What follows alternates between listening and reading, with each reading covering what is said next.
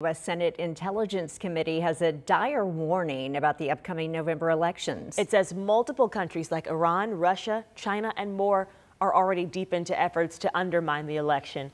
Officials for top tech companies testified in front of Congress yesterday about how their platforms are being used in these efforts. Senators say other nations are using artificial intelligence to create and spread misinformation. Senators argued the tech companies should do more to stop it. A big, expensive operation to pursue some of this. I think we should anticipate that in the years to come, and it's happening already. The FBI also confirmed Iran tried to send data it stole from the Trump campaign to the Biden campaign, but there's no evidence the Biden campaign actually accepted or used the information.